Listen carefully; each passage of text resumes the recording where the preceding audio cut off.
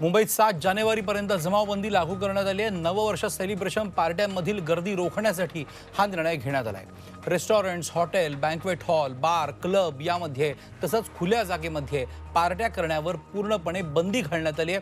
मुंबईत ओमायक्रॉनच्या रुग्णांची संख्या प्रचंड वेगाने वाढतीये. त्यामुळे गर्दी टाळण्यासाठी पोलिसांनी हे आदेश दिले आहेत. जमावबंदीचे आदेश मोडलेत नियम मोडलेत तर तुमच्यावर कडक कारवाई केली जाईल.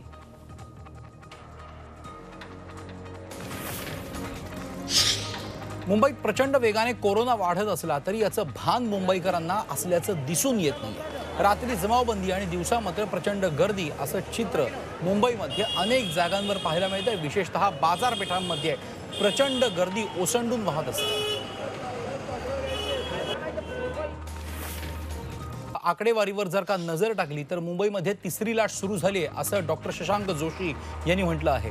मुंबईत गेल्या चोवीस तासांमध्ये जवळपास पंचवीसशे रुग्ण आढळलेत. ही तिसरी लाट सुरू झाल्याचंच लक्षण आहे असं डॉक्टर जोशी यांनी म्हटलंय. अर्थात तिसरी लाट सुरू झाली असली तरी पॅनिकची गरज नाही. सर्वांनी काळजी घेणं मास्क वापरणं सोशल डिस्टन्सिंग पाळणं अत्यंत गरजेचं आहे याकडे त्यांनी लक्ष वेधलंय.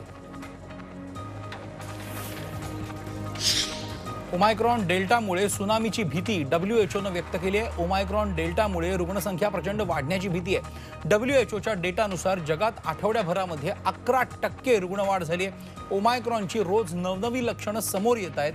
त्यामुळे रुग्ण अजून वाढण्याची शक्यता आहे.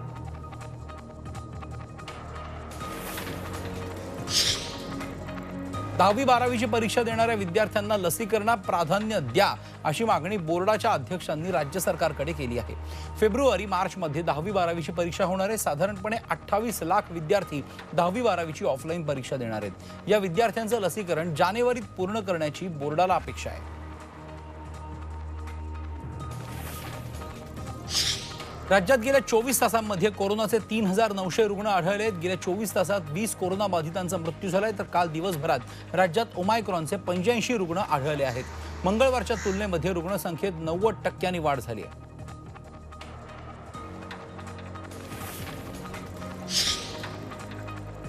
युएईहून आणि मुंबईत राहणाऱ्या प्रवाशांना सक्तीचं सात दिवसांचं होम क्वारंटाईन करण्यात आलं आहे. तसंच R T P C R टेस्टही अनिवार्य करण्यात आली आहे. आजपासून दुबईतून येणाऱ्यांना हे नियम लागू होणार आहे आणि आता एक महत्वाची ब्रेकिंग न्यूज आपण याच संदर्भातल्या सगळ्या घडामोडी साठी आहे. राज्य मंत्रिमंडळाची आजची बैठक रद्द करण्यात आलेली आहे. मुख्यमंत्र्यांची आज टास्क फोर्ससह बैठक होणार आहे. कोरोना ओमायक्रॉनच्या वाढत्या रुग्णसंख्येबाबत या बैठकीमध्ये आढावा घेतला जाणार आहे. मात्र आत्ताची महत्वाची बातमी ही की राज्य मंत्रिमंडळाची आजची बैठक रद्द करण्यात आलेली आहे. खरं म्हणजे राज्य मंत्रिमंडळाच्या बैठकीमध्ये आज ओमायक्रॉनबाबत चर्चा होणार होती. त्याचबरोबर निर्बंध आणखी वाढवायचे का? याबाबत चर्चा होणार होती. मात्र आत्ताची ह्या घडीची अपडेट अशी की राज्य मंत्रिमंडळाची आजची बैठकच रद्द करण्यात आली आहे. त्याऐवजी मुख्यमंत्र्यांची आज टास्क फोर्ससह बैठक आहे आणि कोरोना आणि ओमायक्रॉनच्या वाढत्या रुग्णसंख्येबाबत टास्क फोर्ससोबत मुख्यमंत्री चर्चा विनिमय करणार आहेत आढावा घेणार आहेत.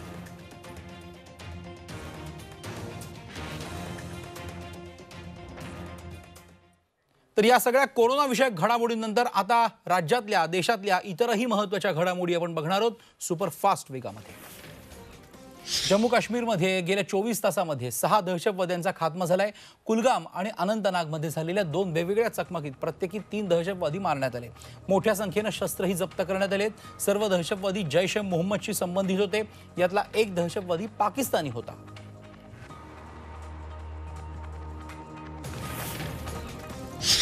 एस टी संपात सहभाग झालेल्या एस टी कर्मचाऱ्यांवर कारवाई सुरू आहे. बुधवारी दीड हजारांहून अधिक एस टी कर्मचाऱ्यांना बडथरबीची नोटीस देण्यात आली आहे. येत्या काही दिवसांमध्ये कर्मचारी कामावर परत न आल्यास आणखी काही कर्मचाऱ्यांवर बडतर्फीची नोटीस बजावण्यात येणार आहे.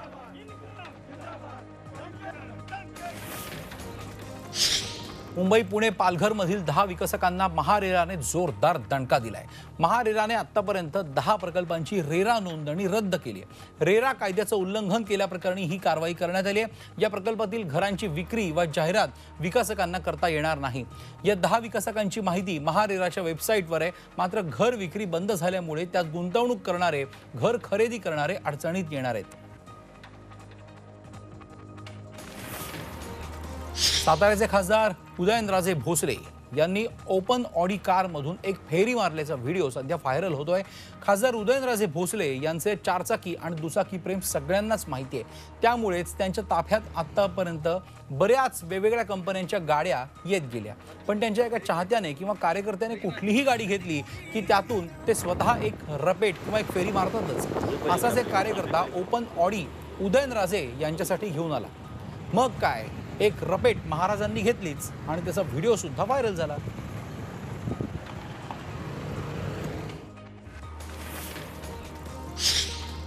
चांदवड टोल कंपनीने टोल नाक्यावरील पंधरा कामगारांना दोन महिन्यांपासून कामावरून काढून टाकले या कामगारांना रुजू करून घ्यावं. यासाठी शिवक्रांती टोल कामगार संघटनेच्या वतीने आंदोलन करण्यात आलंय. साखळी उपोषण टोल नाक्यावरच सुरू केलं असून उपोषणाची दखल न घेतल्यास टोल काम बंद आंदोलनाचा इशारा सुद्धा देण्यात आलाय. आहे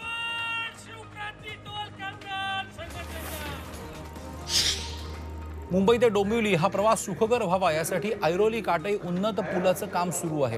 परंतु या पुलावरून नवी मुंबईत चढण्यासाठी किंवा उतरण्यासाठी मार्गिकाच बांधण्यात आलेली नाही आहे त्यामुळे नवी मुंबईमधून जाणाऱ्या या पुलाचा नवी मुंबईकरांनाच जर का फायदा होणार नसेल तर याचा उपयोग काय? असा प्रश्न भाजप आमदार गणेश नाईक यांनी केला आहे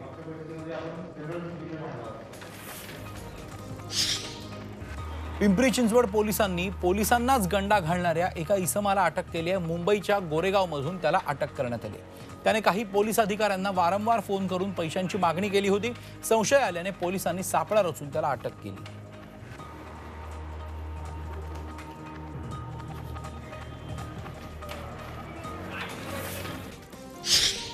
महाबळेश्वरपेक्षा नाशिक निफाड धुळे थंड झाले. निफाडचं तापमान आठ अंश नोंदवण्यात आलंय. तर त्यापेक्षा म्हणजे धुळ्यामध्ये तापमान आणखी घटलंय सात अंशांवर गेलंय. मुंबईतही गारेगार वारे वाहत आहेत मुंबईचा पारा घसरला असून सतरा अंशांवर गेला आहे.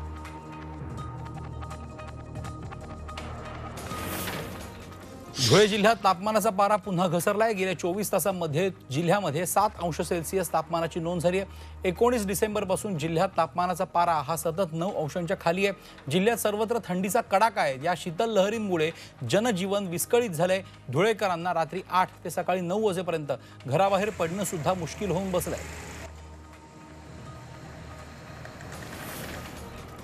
परवा झालेल्या जोरदार पाऊस आणि गारपिटीमुळे अकोलेकरांनी गुलाबी थंडी आणि दाट धुकं असा मनमोहक वा- वातावरणाचा अनुभव घेतला. पावसामुळे वातावरणात गारवा वाढल्यामुळे थंडीपासून बचावासाठी शहरात सुद्धा ठिकठिकाणी शेकोट्या पेटू लागल्या आहेत. काल या धुक्यामुळे सकाळी अकरा वाजेपर्यंत शहरासह जिल्ह्यातील अनेक भागात सूर्यदर्शनच झालं नव्हतं.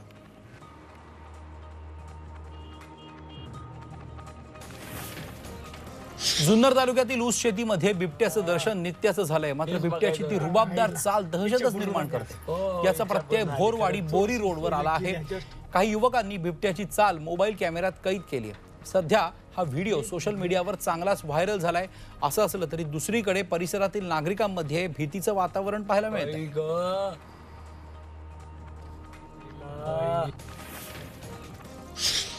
वाहनाच्या धडकेत बिबट्या ठार झाल्याची घटना सिन्नर बायपास जवळ घडली वन विभागाकडून घटनेचा पंचनामा करून बिबट्याचा मृतदेह ताब्यात घेऊन शवविच्छेदन करण्यात आलं.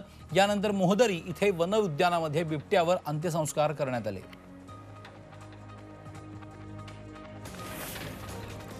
बुलढाण्यातल्या डोंगर शेवली इथं अस्वलाचं दर्शन झालंय. ज्ञानगंगा अभयारण्याला लागूनच असलेल्या डोंगर शेवलीच्या शिवारात बुधवारी दुपारच्या सुमाराला अस्वल दिसलं.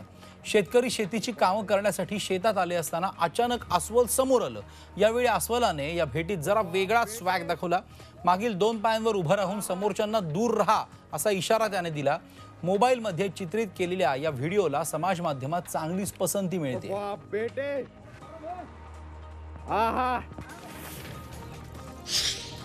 सांगलीनंतर आता सोलापूरच्या सांगोला तालुक्यामध्ये गवा दिसलाय. मागील दोन दिवसांपासून हा गवा फिरतोय. सांगोला तालुक्यातील आलेगाव परिसरातील वन विभागाच्या क्षेत्रात गवा फिरताना शेतकऱ्यांना दिसला.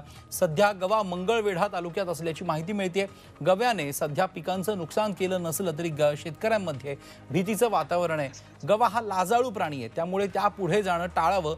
तो त्याच्या मार्गाने परत त्याच्या अधिवासात जाईल असं वन विभागाकडून अधिकाऱ्यांकडून सांगण्यात आलंय.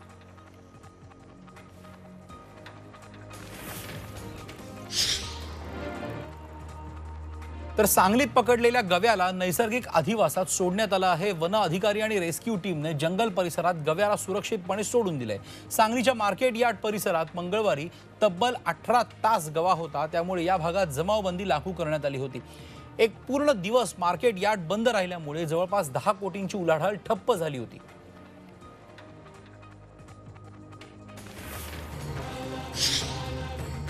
एकादशी निमित्त आज आळंदीमध्ये संत ज्ञानेश्वर महाराज समाधी मंदिरामध्ये आकर्षक सजावट करण्यात आली रंगीबेरंगी फुलांचा वापर करत गाभारा सजवण्यात आलाय समाधी स्थळावर ही आकर्षक सजावट करण्यात आली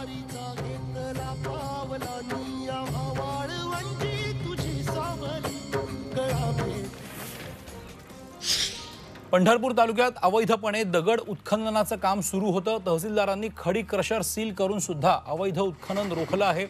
पंढरपूर तालुक्यात अनेक ठिकाणी अवैध दगड उत्खनन सुरू असल्याची तक्रार दादा चव्हाण यांनी केली होती पण त्यावर कारवाई झाली नाही. अखेर चव्हाण यांनी आयुक्त कार्यालयासमोर उपोषण केल्यानंतर चौदा क्रशरवर महसूल विभागाने कारवाई केली आहे.